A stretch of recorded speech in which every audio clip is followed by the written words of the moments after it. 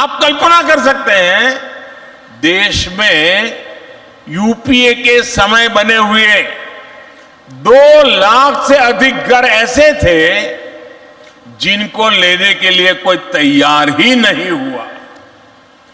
हमारे यहाँ महाराष्ट्र में भी उस समय बने हुए पचास हज़ार से अधिक घर ऐसे ही खाली पड़े थे। आप सबने हमें सेवा करने का मौका दिया। सरकार में आने के बाद हमने सही नियत से काम शुरू किया और नीति भी बदली। पिछले नौ वर्षों में हमारी सरकार ने गाँव और शहरों में गरीबों के लिए चार करोड़ से अधिक पक्के घर बनाए।